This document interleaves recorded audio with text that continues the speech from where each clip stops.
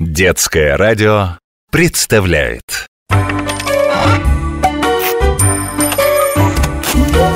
Необыкновенные истории обычных вещей Пас! Пас давай! А что он делает? Чем он бил? Пап, бил он клюшкой Неужели ты не видишь? Хорошо вам перед телевизором А вы тут, на поле погоняйтесь Лед жесткий, удары сильнейшие Скорости космические. Весь матч крутишься как заведенная. Не буду утверждать, что я, хоккейная клюшка, на матче главная Но без меня игра не получилась бы такой зрелищной.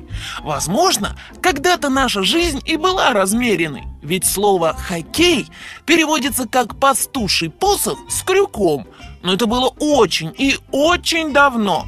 Все понеслось и закрутилось с того самого момента, когда несколько голландских парней объединились в команду и устроили игру на льду.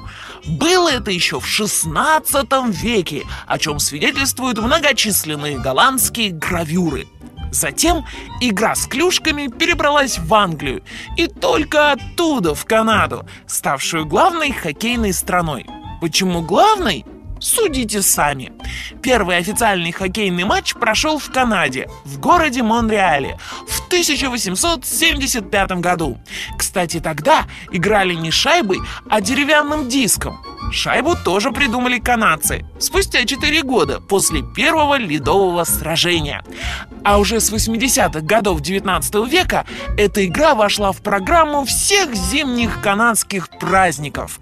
Правила игры окончательно сформулировали монреальские студенты. Сетку для ворот из рыболовной сети впервые сделал тоже канадец. И маску первым надел тоже канадский вратарь. И даже в первом международном матче между Канадой и Англией выиграли канадские спортсмены. История российского хоккея не так богата изобретениями и новшествами, но количество побед наших хоккеистов весомо и значительно. Мы неоднократные чемпионы мира и Олимпийских игр. Мощные атаки, точные пасы, многоходовые комбинации, виртуозное владение клюшкой. Вот что отличает российских хоккеистов. Недаром в песне поется «В хоккей играют настоящие мужчины». Трус не играет в хоккей. Давай, быстрее, пас, бей! Ура! Гол!